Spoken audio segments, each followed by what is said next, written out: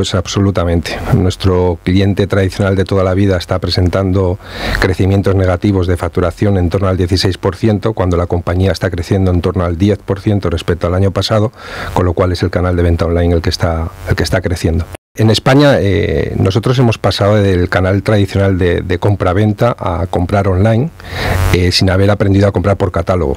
Estos países de los que tú hablas, como por ejemplo Alemania, Estados Unidos, han estado muchísimos años comprando vía catálogo y cuando llega el medio online son expertos y son capaces de pedirse las tres tallas eh, para quedarse luego con el pantalón, como tú dices, que les va bien y devuelven los otros dos porque la, devolución es gratuita. En España todavía no estamos ahí. La cadena de suministro en España eh, del canal de venta online entre clientes es muy diferente. Por ejemplo, está la venta grupal, que en muchos casos están vendiendo productos que ellos todavía no tienen, con lo cual eh, no te pueden llegar a las 24 horas. Podríamos hablar de marcas cuyo tiempo en tránsito son tres, tres semanas y luego hay otras marcas que sí, que tienen el producto en España, que una vez que tú das la orden de compra, a las 24 horas tienes el producto en tu casa. Pues seguimos igual, el canal de, venta tradicional sigue descendiendo, el canal de venta online crece y en España pues lo que nos caracteriza, eh, a diferencia del resto de países de la Unión Europea, es el exceso de oferta que tenemos en el sector del transporte.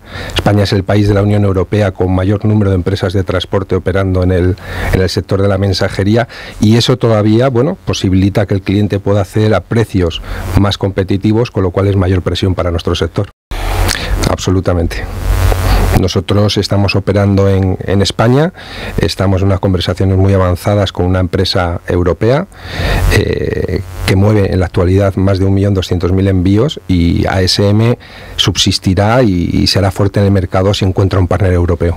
Bueno, pues a medida que la demanda de los clientes se fue ampliando, eh, la compañía se fue extendiendo a nivel nacional.